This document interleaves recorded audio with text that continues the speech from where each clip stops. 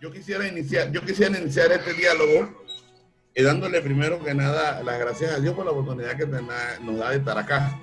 Y segundo, esto, agradeciendo a, a, la señora Romero Tapia por, la, por ese tiempo que nos está brindando a nosotros la Escuela Victoriana Chacón. Nosotros nos sentimos sumamente complacidos, contentos. Y sí quisiera esto, eh, presentar a mis compañeros, pero sobre todo presentarles, porque están con nosotros la profesora Lisa Díaz, directora del colegio, Está con nosotros la profesora Imenia Chen, su directora del colegio, técnico eh, docente. Eh, la profesora Liz, eh, Laisa de Triguero no pudo asistir porque está ahora mismo en Meduca cumpliendo una función asignadas por la directora. la profesora, la licenciada Jaycee, del proyecto Aprender y Crecer del cual yo le he hablado, no, no, se pudo, no se pudo conectar en el día de hoy. Eh, también está con nosotros, ¿ah? está con nosotros la maestra Osiris Chacón, maestra del sexto C de la escuela, la, profesora también Eida Márquez del sexto A. Está, está por conectarse el profesor Jairo Zambrano del sexto D y mi persona eh, que complacido pues de, este diálogo. Quisiera iniciarlo, el, señora eh, Rosemary, dándole la oportunidad a nuestra directora a que se haga su presentación. Eh, nuestra directora, eh, le puedo decir, nuestra directora, la profesora Lisa Díaz, es una persona que siempre está a este tipo de actividades. Ella trata, desde que llegó a nuestro centro, ha tratado de que nuestro centro sea un centro que cumpla con requerimientos académicos, eh, ha tratado también de que haya un buen aprendizaje, de, que nuestro colegio es un colegio que siempre esté a la vanguardia y sobre todo pues, en, esto de la lectura. Eh, así que entonces me complace mucho, tengo el eh, deseo de que ella pues la conozca, se dirija, tenga esa oportunidad que tuve yo también de de conocerla en este momento. Así que le cedo la palabra a la profesora Lisa Díaz, directora de la escuela. Con mucho gusto. Buenos días. Buenos días. A todo mi grupo. Bendiciones. Eh, agradecida con usted, Rosa María Tapia. Rosa María por tomarnos en cuenta nuestro humilde centro educativo y es como dice el maestro Lucío, eh, nuestro principal norte es la parte pedagógica, enfocados en nuestra visión del centro educativo. Actualmente tenemos tres años de ser escuela bilingüe y hemos crecido. Actualmente tenemos una población estudiantil bastante alta de mil, 1076 estudiantes cuando llegamos, no llegábamos a los 500 estudiantes, así que la oferta curricular se ha ampliado bastante. Tengo un equipo de trabajo muy bueno, excelente personal, porque los objetivos y todos los avances que logremos, que se logran en un centro educativo, todos se logra a través del trabajo en equipo, porque sin el trabajo en equipo no podríamos lograr todo lo que hemos logrado hasta ahora. Tenemos un gabinete psicopedagógico, no lo tenemos de planta, pero sí nos asiste dos o tres veces a la semana, igual que tenemos tres docentes de inclusión, nuevo, nueve docentes de inglés entre las asignaturas de tecnología, FDC, informática, educación física. En la actualidad somos 52 y vamos en crecimiento porque tenemos una población totalmente joven, solamente que nos hemos quedado bastante chicos en cuanto a estructura, pero los salones mínimos tienen 35 niños y eso hablando de los grados bajos. Para el próximo año creo que los sextos grados, no sé, no quiero ni, pero casi van rayando 40 estudiantes. Imagínese usted, licenciada, y vamos en crecimiento, así que estamos en la lucha de ver cómo seguimos construyendo más aulas, pero con esto de la pandemia pues íbamos a tirar una extraordinario para construir y pues lamentablemente no, pero ahí estamos haciendo la autogestión y me siento agradecida pues con que usted nos haya tomado en cuenta para esto, que para nosotros es de gran ayuda en la parte curricular con nuestros estudiantes. Y era como me dolió que no está la licenciada Jaycee, pero pertenecemos a un programa que iniciamos desde el 2016 con el programa Aprender y Crecer, que se basa en lectura, mucha lectura. Y dentro de los ejes transversales y los espacios, espacios curriculares abiertos, también los hemos introducido para ampliar más y que nuestros estudiantes de repente, bueno, no sean autodidactas, pero que, que nos identifiquemos humildemente como centro educativo de que nuestros estudiantes pues están en este tipo de programas que son de gran ayuda, mucha ayuda para ellos. No sé si le dije mi nombre. Sí. Profesora, directora, muchas gracias. Lisa, Lisa Díaz, sí. Sí, cómo no. Profesora, muchas gracias. Eh. Ustedes siempre van a poder contar conmigo cada vez que lean una obra mía, Ay, muchas gracias. vamos a hacer un conversatorio. Y yo lo que les propongo es hacer ese conversatorio antes del examen. Ellos me preguntan a mí todas las dudas, sacan excelentes notas y se enamoran de la lectura. Yo tengo un programa sociocultural que yo creé hace 14 años que se llama Siembra de Lectores.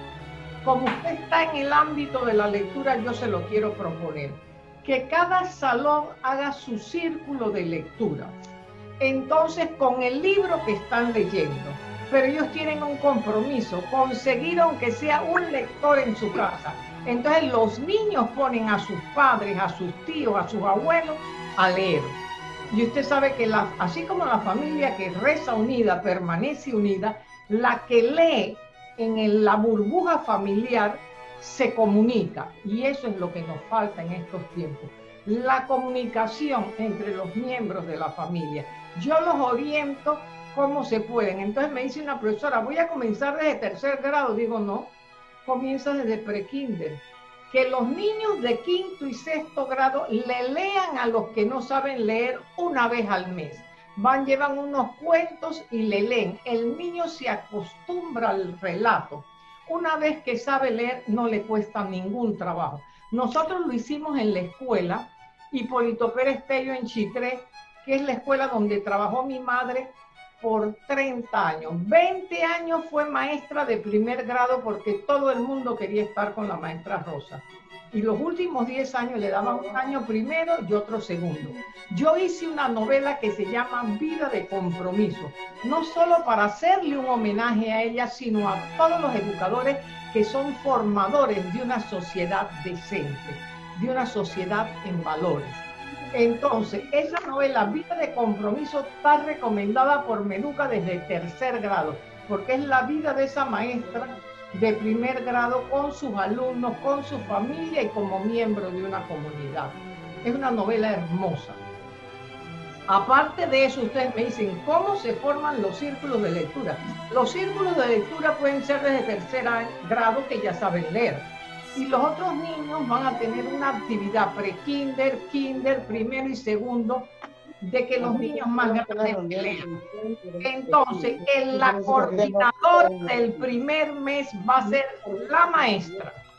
La maestra va a ser la coordinadora del primer mes y después, cada mes, ella escoge a un alumno porque así motivamos el liderazgo. Él le tiene que recordar las lecturas, estar al tanto de que todos los niños lean y se reúnen una vez al mes en el mismo salón de clase. Entonces, que ellos pongan el nombre del círculo, profesora, les encanta eso. Entonces, yo tengo un mapa con 372 círculos y entonces en Panamá Oeste, cada vez que ustedes hagan un círculo, van subiendo uno más. entonces ellos quieren ganarle a todas las provincias, también ellos ponen a toda la familia a leer y cuando hacemos los conversatorios, ellos están participando y sus padres que leyeron la novela a través del programa Siembra de Lectores de la dirección esa de Facebook que yo les voy a mandar, ellos siguen el conversatorio de sus hijos. Un saludo para todos los que están bueno, mire.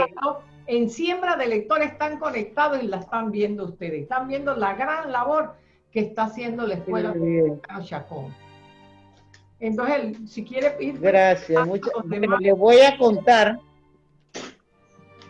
le voy a contar que nosotros también eh, este, hemos trabajado con diversas estrategias. Tuvimos una estrategia que era la de la, la bolsa viajera. La bolsa viajera se entregaba los días viernes. Los viernes llegaba la bolsa a cada hogar para que dentro de esa bolsa iba un libro de lectura que el niño tenía que leer entre sábado y domingo en familia. Y mire que esa estrategia utilizada por todos los docentes en la escuela, eso fue un éxito. El niño compartía la lectura con su papá, su mamá, y de allí él hacía un resumen que era el que él tenía que presentar los lunes y compartirlo entonces con sus compañeros de salón. Y mire que fue una vivencia muy hermosa, muy hermosa con los estudiantes. Sí dejamos de ponerla en práctica porque después trabajamos pues con otras estrategias de lectura en la que cada mes nos presentamos acá en el gimnasio eh, con obras bueno, aquí la verdad que nosotros tenemos buenas vivencias, se practica mucho la lectura. Lo que sí no tengo es una biblioteca acondicionada para ellos. Tengo sí un espacio allí donde tenemos los libros que ellos, los docentes los solicitan y, y al terminar del año yo les he dicho, no es cantidad, sino la calidad. Por lo menos tres obras se leen ellos en el año. Y les dije, aunque sean una que usted lea, pero que el niño al final sea capaz de. Eh, los sextos grados están trabajando con unos foldables. Profesora. Que me ha encantado. Profesora, les voy a decir lo que yo he hecho en otras comunidades. En las comunidades siempre hay personas con más recursos entonces, se forma una comisión de alumnos y estudiantes, eso lo tendremos que hacer después de la pandemia, y buscan padrinos, padrinos de los diferentes círculos de lectura. Imagínense que un señor en una comunidad, él tenía una barrotería como un mini súper, y cuando él supo para qué era, él compró 30 libros y se los llevó y les dijo a los muchachos, ¿qué lectura te gusta? Y entonces los muchachos le fueron de, él llevó y eso quedó en la biblioteca y los niños iban leyendo, se lo llevaban para la casa, lo devolvían. O sea, hay muchas cosas que se pueden hacer, pero eso sí, que los niños involucren. Y un día podemos hacer un conversatorio, vamos a ver, de un sexto grado A.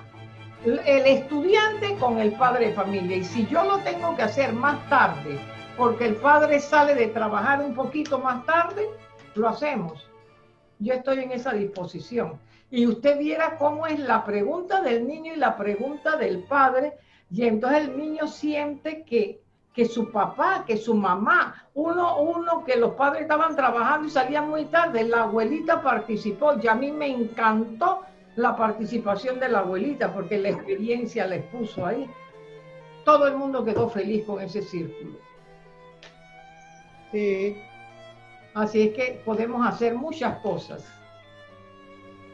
¿Y Acá se hizo con, con algunos grados, se hizo ya este año con el programa Aprender y Crecer. Y la licenciada quedó encantada porque dice que fue, fue con los kinder y los primeros grados. Y fue muy bonita la experiencia. Profesora, para que vean, yo tengo 12 años de estar dando videoconferencias, pero yo esperaba que el colegio me contactara. ¿Y cómo surgió? Un niño de una escuela norte de Veragua llega a la feria y me dice, yo nunca podremos conversar con usted porque aquí estamos ocupadas. Y yo le dije, ¿tienen internet? Dice, sí, tenemos internet. Digo, entonces yo estoy a la distancia de un clip. Dice que la maestra eh, no eh, quería, no, la maestra no quería, no quería bajo ningún concepto usar la computadora. Y el niño no le avisó. El niño hizo el contacto, el proyector y después dice, ahí está la escritora. Entonces eso lo podemos hacer. Dile que lo lea y, y, le mande el número ahí. Entonces esa es la forma que podemos llegar con un clic, ya ahí me tienen y me preguntan todas las Ajá. Y a mí me gustaría para continuar en este diálogo que tenemos excelente, que la profesora Osiris Chacón eh, eh, nos habla una referencia acerca de cómo llega eh, la novela a la Escuela Veterano Chacón, porque, y qué, qué, es lo que pretendemos con esta, con esta actividad. Así que quiero cederle la, la el turno a la, a la profesora Osiris para que, que es la que, como yo le dije la vez anterior, es la que la, realmente quien es el motor de traer su obra a Escuela Veterano Chacón. Así que eh, yo quiero que ella nos hable un poquito de, de, la, actividad de la escuela. Con mucho gusto.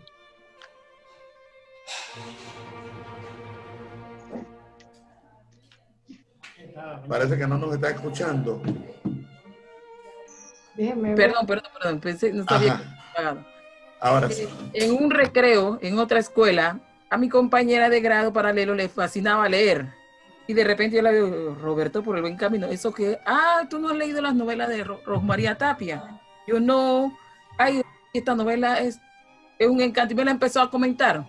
Voy a prestar. Yo empecé a leer la novela. Yo decía, Dios mío, esta situación y lo que ocurre es la situación que ocurre en comunidad. ¿Qué voy a hacer con el siguiente año me traslado para la escuela estoy laborando actualmente. Yo vivo en esta comunidad también y yo sé la realidad social de esta comunidad y la novela tiene mucho que ver con lo que está ocurriendo en esta comunidad tristemente.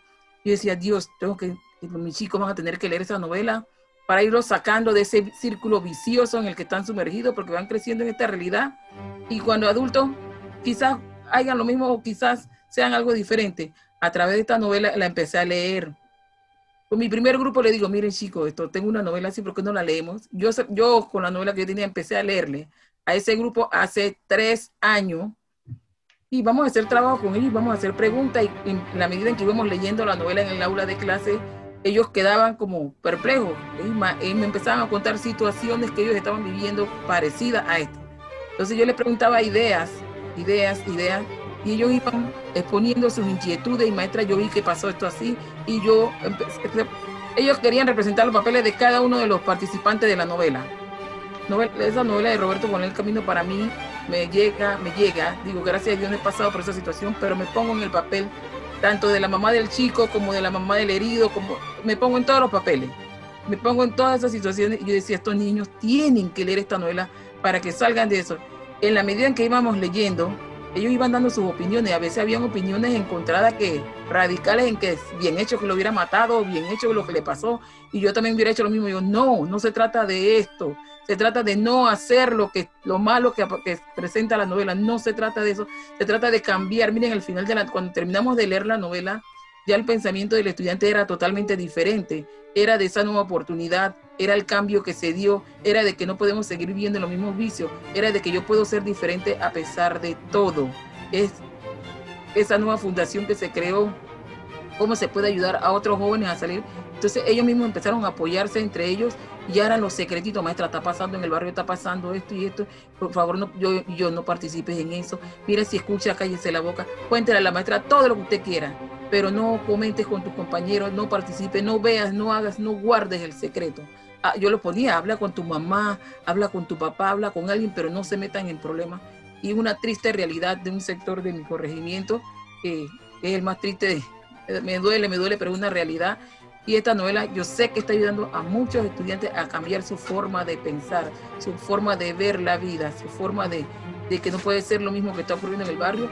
Y bueno, cuando eh, llego acá están los proyectos de lectura muy lindos en la escuela y a sexto grado leer una novela. Y yo Roberto por el buen camino va a ser, Roberto por el buen camino va a ser, ya, ya van tres años que nuestros chicos de sexto grado están leyendo esta novela y ahora lo están haciendo a la distancia, algunos, algunos, porque no todos cuentan con la novela, pero los que ya la tienen, porque se la han ido prestando y unos padres que las están comprando, pero nos gustaría, yo le decía al maestro Lucio, algo tenemos que hacer para que esa novela repose en la dirección de la escuela. Algo tenemos que hacer.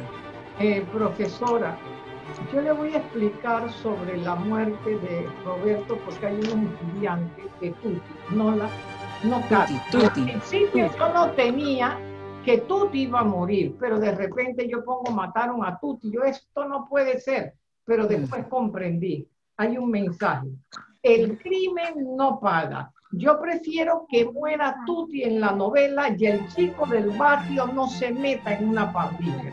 entonces, cuando él está muriendo, él tiene una muerte redentora, porque él, profesora, le dice a Luis Carlos, acuérdate de los pelados, y después vive para siempre en la Fundación Roberto por el Buen Camino. Tuve que silenciar los micrófonos, ahora cuando van a hablar lo activan porque había mucha interferencia y se está grabando. Entonces, cuando ustedes van a hablar, ustedes activan su teléfono. Una vez que dejan de hablar, entonces, así como hizo la profesora, la maestra Osiri, silencian el micrófono porque la grabación queda más nítida. Entonces, esa es el crimen no, no paga y la segunda oportunidad. Acuérdense que la dedicatoria está dedicada para aquellos que dan un salto de la luz a la oscuridad. A los que lo intentan y no lo logran, ya la sociedad que le da la mano para que lo logren.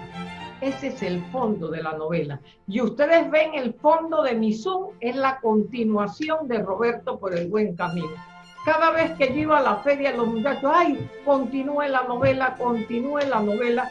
Y una doctora en filosofía que hizo la tesis doctoral sobre Roberto por el buen camino. Dijo, sé que te han pedido mucho, haz la continuación. Y entonces se llama 20 años después porque es todo lo que pasa en la fundación 20 años después. Ese niño que sale desnudo, que impide que María Cristina le dispara, ya es un hombre de 26 años. Entonces la vida de mami con todos sus hijos, ustedes les va a encantar esa novela. Se llama 20 años después porque yo celebro mis 20 años como escritora. Entonces esa novela es hermosísima y los muchachos, aunque no se la hayan mandado en el colegio, la están comprando porque leyeron Roberto por el buen camino. Entonces, yo quiero que programemos. Yo tengo mi capacidad en Zoom de 100. Si son más de 100, hacemos dos grupos. Y sale en siembra de lectores, sale inmediatamente para, para eh, eh, de aquí de Zoom a siembra de lectores para que los padres se conecten y puedan ver a sus hijos participar. Y yo nunca les voy a decir que no. Yo a nadie le digo que no, y menos al interior. Yo soy escritré y yo tengo predilección porque yo sé que en el interior las cosas son más difíciles. Buenos días. Buenos días. Entonces, quiero que sepan que estoy a la orden de todos ustedes. Vamos a tratar de formar los círculos de lectura y que, miren, en Chame hubo unos grupos de estudiantes que pusieron al círculo adoradores del Quijote. Yo estoy segura que no han leído el Quijote, pero a lo mejor así lo lean. Digo, pongan el nombre que quieran. Otros niños pusieron travesías por la lectura, por travesías mágicas. Y el nombre que ellos ponen, yo los inscribo acá, les mando el mapa con un número más en Panamá Oeste. Y a lo mejor Panamá, Panamá Oeste queda como líder de lectura, porque hay colegios muy importantes que están leyendo. Así es que el que quiera participar, activa su micrófono y con mucho gusto.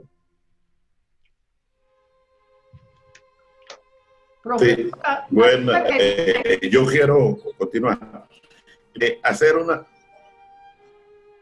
Mire, profesor Lucio, déme un paréntesis para decirle algo a la directora. Nosotros tenemos eh. un vendedor que cubre chorrera. Si ustedes recogen el dinero y lo contactan a él, la novela sale un poco más baja. la novela le sale como en 5.80, que no es lo mismo 5.80 que 7.50, como 5.75, por ahí sale la novela. Entonces él se la da a precio de mayorista. Yo le puedo mandar al maestro Lucho los datos del, del vendedor. Esa es otra manera. Y traten de los niños que no tienen el factor económico, buscar un patrocinador. Y entonces la gente siempre cuando es para libros, porque ellos saben que un niño que lee, que se educa, no se va para la delincuencia. Entonces ellos saben que aunque no lo hagan por amor, que lo hagan por interés, para que esos niños no queden en una pandilla. Ustedes, esa fundación que ustedes ven a mi espalda es creación de la novela. Esa fundación la iba a hacer una amiga mía con el mismo nombre Roberto por el buen camino pero ella falleció en el accidente del helicóptero en el 2008. Pero a raíz de la novela salieron muchas fundaciones. Yo fui a una fundación en Arraiján que se llama Creo en ti. Entonces hay fundaciones que están ayudando a los niños que han desviado el camino, incluso a los que están en riesgo social. Bueno, sigan, que era lo que quería decir. Pueden conseguir la menor precio. Ajá. Eh, lo que me gustaría hoy es establecer eh, qué día podemos hacer el conversatorio, eh, ahora que tenemos la presencia de la directora, para establecer fecha del, del conversatorio con los estudiantes y la hora, para que salgamos de aquí ya sabiendo que tenemos que prepararnos nosotros acá con la actividad, la primera actividad que sería el conversatorio con los estudiantes. Así que le doy la palabra a la directora a ver qué fecha nosotros vamos a escoger. Nosotros los docentes pensábamos que pudiera ser después del 15 de noviembre, en una fecha ya finales de mes, para, para, que ya prepararnos eh, y preparar a los... Para que se hayan leído la novela. Y yo le voy a mandar la dirección de siembra de lectores para que el padre pueda ver a su hijo desde ese portal de, de, de Facebook. Entonces, yo tengo cupo para noviembre. Ustedes me dicen nada más el día el día que ustedes quieren y yo los anoto de una vez y les reservo el cupo. Y tengan la seguridad, cada vez que ustedes me llamen, cuentan conmigo. Y miren, esa táctica de hacer el conversatorio antes del ejercicio, antes de la evaluación, hace que los muchachos saquen muy buena nota. Había una chica que me quería regalar el examen, nunca había sacado más de tres, siempre sacaba menos de tres en el examen sacó 4,9. Digo, ponlo en un cuadro en tu cuarto para que tú veas que tú puedes, si te aplicas, puedes sacar buena nota. Era sobre la novela Niña Bella. Ella sacó 4,9 y de ahí en adelante el entusiasmo por la lectura fue una cosa indescriptible.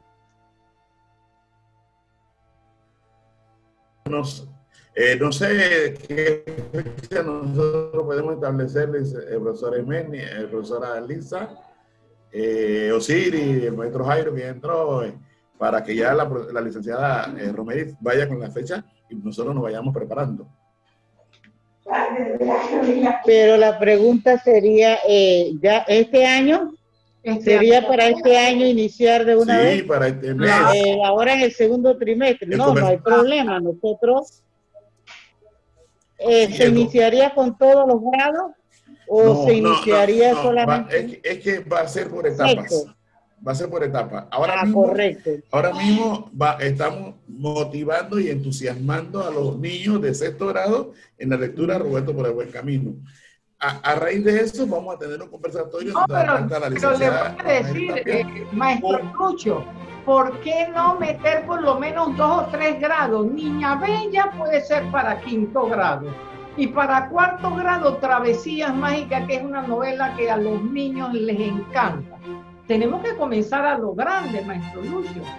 Y cuentan conmigo, porque los maestros de sexto grado preparan a sus alumnos para Roberto, los de quinto grado para Niña Bella y los de cuarto grado para Travesías Mágicas y, que los padres participen y que se lean y que los ayuden.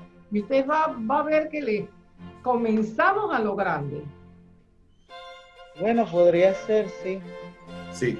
Pero entonces, en la parte de, Roberto por el buen camino, el conversatorio, nosotros que queremos establecer la fecha del conversatorio con los La fecha, y después me llaman para el de Niña Bella, antes de fin de año podemos hacer tres. Y después entonces, ajá, ajá, y después vamos a organizarlo. Y el otro año, ahora, incluso profesor, yo pienso que les lean un puentecito, los niños se expresen, a los más chiquitos, pero no sería para el otro año. No, ellos están en la lectura porque nosotros con el programa Aprender y Crecer tenemos que tener lectura frecuente toda la semana. Sí, eh, en, en, esa línea de Aprender y Crecer, ya la licenciada Jaycee y la, y la licenciada Marta Alvarado tienen conocimiento de esta lectura y ellas tienen conocimiento de este proyecto, ellas tienen es más, ellas están anuentes a apoyarnos en este proyecto como Aprender y Crecer. Lastimosamente no se pudieron estar hoy, pero sí están anuentes apoyarnos en este Profesor, cuando el estudiante comparte con su escritora es otro mundo. Imagínense que había una escuela en San Miguelito que ellos no les gustaba leer. Hicieron una videoconferencia y después el profesor iba a asignar otro libro y dijo, no, dice el que peor se portaba el de la señora Tapia, porque nos gusta, lo leemos rápido y salimos en una película en YouTube. Él ya se había visto en YouTube y él creía un artista, ya salió en YouTube, lo vieron los familiares. O sea, le damos al estudiante otro panorama, que la lectura es fiesta, es celebración. Entonces, por ahí va siembra de lectores. Entonces, eh, entonces no sé. Eh, díganme la fecha que yo los anoto. A mí me gustaría que fuera. Ajá. Bueno, estamos hoy a 26. Siri, profesora Lisa. 26 de octubre, pero ¿qué tal si lo hacemos? Hoy es 26 de octubre. El marco de las fiestas patrias. ¿Qué día? Exactamente. ¿Qué día? Jueves 26, me dijo, jueves 26. ¿Profesora Lisa? Esto, no, hoy es 26, ¿verdad? 26 de noviembre. Sí. 26 de noviembre, ¿a las 10 le parece bien? Sí. Voy a 26 de noviembre, 10 de la mañana, maestros. Ya lo puse, conversatorio. Por mí está muy bien la fecha. Ya ellos han terminado. Los, ¿Con los padres de familia? Con los estudiantes. Con los niños. Con los estudiantes, nada más sería pero, con los niños. Pero, pero. Los padres van a escucharlo por siempre. Y los padres. Y después hacemos por salón, después vamos a, hacer muchas actividades. Por salón con sus padres y sigue la pandemia.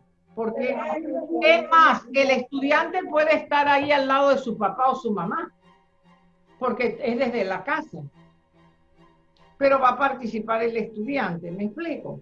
Y después lo hacemos, hacemos un día una reunión bien grande que, que participen todos. Ya lo anoté.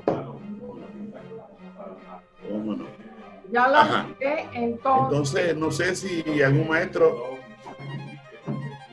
si algún maestro esto quiere aportar. Algún maestro desea conversar, hablar. Aportar. A decir alguna de sus experiencias. Ahora, experiencia ya. Para mí, para mí, para mí personalmente, esa novela ha calado mucho, tanto emocional como sentimentalmente, porque aparte de ser maestra de, de grado, soy catequista de confirmación y con muchos jóvenes eh, con grandes carencias y de repente pretendiendo caer en este mundo vicioso, este círculo vicioso. Y hasta ellos yo le he hablado de, de esta novela. Yo le decía, usted en su escuela nunca le mandaron a leer esta novela y le empiezo a hacer resumen. Para mí esta novela espero leer 20 años después. Va a quedar encantada, maestro Siri, porque en 20 años después la protagonista es Mami. Mami termina la secundaria, estudia trabajo social y se reinventa. Y se aprende se maneja una dama y es una... Voy a tener que leerla. Y el niño, ¿se acuerdan del niño policía? El niño policía que lo habían herido, ese va a ser el jefe de las fuerzas especiales Imagínense. Todos han crecido y es una belleza de novela que a todos le han gustado mucho. Tiene un espíritu de superación enorme, que es lo que quiere inspirarle a estos chicos que creen que ya todo se, se, limita a ir a pescar al mar, que hay otras cosas buenas por hacer, que hay muchas oportunidades de estudio, de convertirse en grandes profesionales, sin necesidad de vivir en este círculo vicioso que siempre los está rodeando. Así es, y a ellos les ha gustado mucho, las han leído por su cuenta. Hubo uno que se la prestó a la, a la profesora de, primer, grado, primer año y le dijo, profesora, dice que no lo puedo mandar para pandemia, no hay plata, dice la profesora. Dice, profesora, pero compran tarjeta para chatear y hablar intrascendencia. Así le digo al niño, porque el niño es como muy letrado. Y entonces dice la profesora, tú sabes que es verdad, el que pueda comprar la novela, que la compre. Y casi todos lo compraron porque los padres ya habían leído Roberto por el buen camino. Y cuando el padre de familia sabe que una lectura va a alejar a su niño de, unos, de unas malas compañías, hace el sacrificio. Además, al maestro Lucho, que tengo su teléfono, le voy a mandar el teléfono de Eric Camaño, porque la pueden conseguir a mejor precio. Eh, otro maestro si quiera participar, la profesora Lisa, no sé.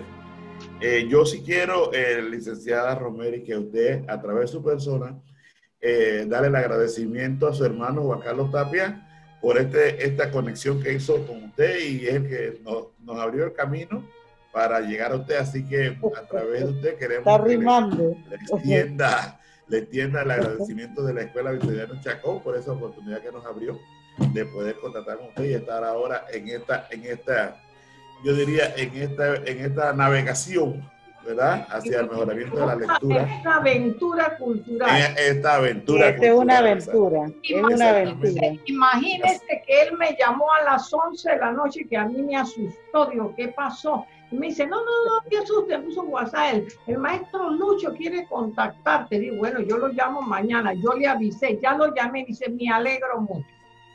Porque gracias, gracias por esa Yo le voy a dar su agradecimiento y entonces, ya saben, cuentan conmigo.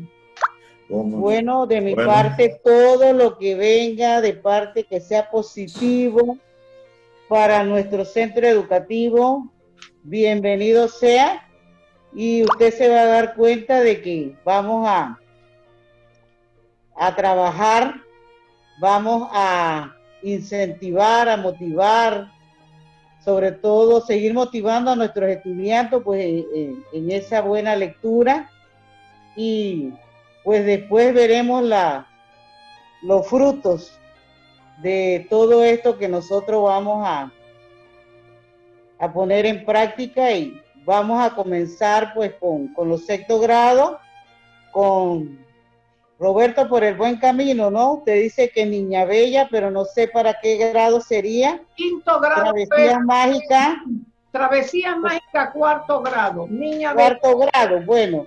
por, este, por este pequeño tiempo, porque ya es poco lo que nos queda, eh, con sexto, quinto y cuarto grado, pues vamos a trabajar con los libros estos y el 26 hay algo importante que usted dijo del gabinete psicopedagógico. Yo tengo una novela de bullying que se llama Un grito desde el silencio, el oscuro abismo del bullying. Para el otro año está recomendada desde cuarto grado en adelante. Y es una novela donde uno de los personajes principales es la psicóloga del gabinete psicopedagógico y hay una una propuesta para el bullying, los comités anti-bullying, por un representante de la dirección, la psicóloga, dos alumnos conciliadores y un profesor, porque los primeros que se dan cuenta del bullying son los compañeros. Esa novela también les puede gustar y está recomendada desde el Sí, porque definitivamente tenemos que, que tomar en cuenta a nuestros estudiantes con barreras de aprendizaje y el centro educativo, algo que sí nos identifica es que trabajamos bastante con ellos.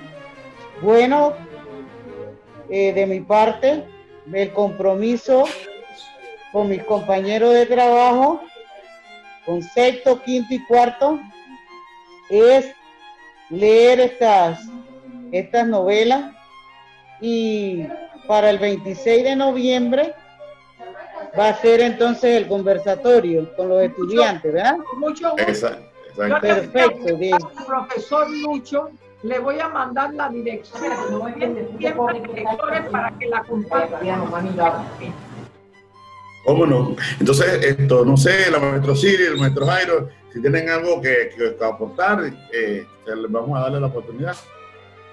Y si no, sí, maestra Eida, maestro Jairo, que no los he escuchado. Sí, buenos días, disculpen la, la, demora. De mi parte, pues me parece bastante agradable porque yo he sondeado la novela, la estoy leyendo, bajé algunos fragmentos de la web y el mensaje que tiene es bastante eh, esto, agradable porque ese, el, el, mensaje trata más que todo un lugar, un ambiente parecido en el que estamos y, y como que encaja con la realidad de los muchachos. Exacto. Cuando, cuando los niños hacen, hacen clic, en ese caso, podemos decirlo de esta forma, eh, se, emocionan, se emocionan, porque en realidad, si alguien pudo, yo también puedo. Ese es, lo que uno tiene que tratar de, incentivar a los chicos, pues en este caso con, con, respecto a esa lectura.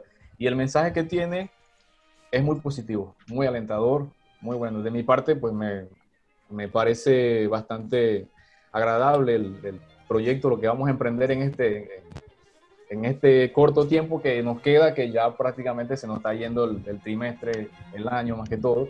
Pero bueno, esperemos que todo salga bien y que tengamos buenos resultados con respecto a esto.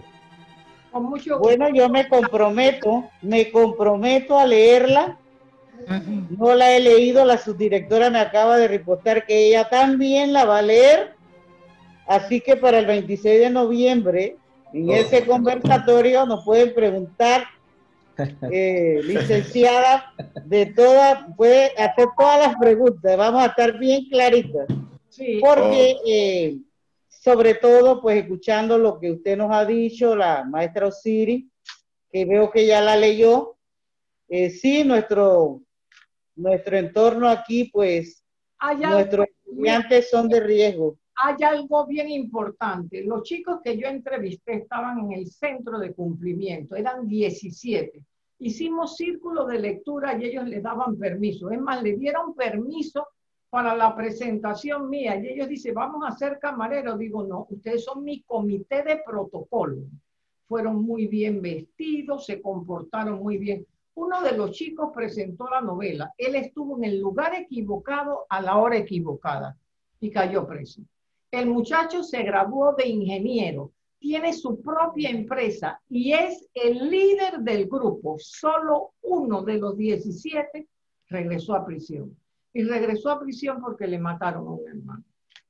Entonces él quiso cobrar venganza, pero los 16 se salvaron. Entonces sí se puede rehabilitar al menor delincuente.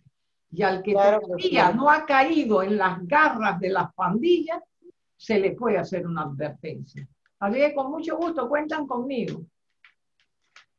Muchas gracias de gracias de la administración y de mi docente. Y vamos con todo, chicos, porque ustedes saben que nosotros ante estos retos vamos con todo. Yo me doy cuenta, usted es muy proactiva y todos sus, sus maestros, yo los veo. Yo en ellos veo a mi mamá. Mi mamá era así, era emprendedora, era entusiasta. Ellos saben cómo soy yo. Después, directora. Hay que Directora, después con Eric Camaño, yo le voy a regalar para que usted la vaya pasando entre los. Porque a mí me dan pocas muestras porque son ellos los que hacen las novelas. Pero yo iba a preguntarle cómo la sería. De vida de compromiso para que para las vacaciones usted se la lleve y la pase entre los maestros y usted va a ver cómo ellos se van a sentir que yo también les hago un homenaje. Qué bien, muchas gracias. Sí, porque iba a preguntarle dónde la iba a adquirir, dónde la podía comprar, porque está accesible. En los Gramontes se encuentra, hay en los machetazos, ya parece que ellos devolvieron algunas novelas, pero también yo le voy a mandar al profesor eh, Lucho, al maestro Lucho, el contacto del vendedor, porque si ustedes se reúnen entre varios, le dicen a los estudiantes, ahí les sale un poquito más baja. Entonces, yo voy a mandarles ese. Y en los Gran Morrison, hay unos de ustedes que pueden venir a Panamá, ¿verdad? en Gran Morrison los pueblos tienen una oferta, yo creo que es el aniversario de los pueblos, que las ah. están vendiendo por hasta el 31 de este mes, porque es tiempo limitado, en 4.50. Le están bajando el 44. Oh, pero no sé si saco a Javier de ahí. A ustedes encárguense a alguien que está aquí en Panamá, porque ese precio no es ni el precio de mayorista. Ellos lo están vendiendo así en, en Gran Morrison, los pueblos, pero hasta el 31. Todavía. Oh, ya está, casa, está esta semana casi. Se puede decir. Sí, pero se puede. Yo creo que todavía el fin de semana tienen toda esta semana.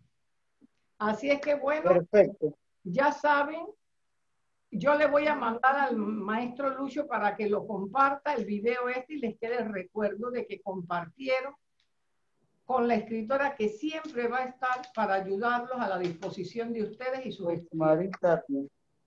Así es. Bueno, le agradecido, licenciada Tapia, eh, agradecido a los presentes, a nuestra directora. Yo para ustedes soy Rosemary.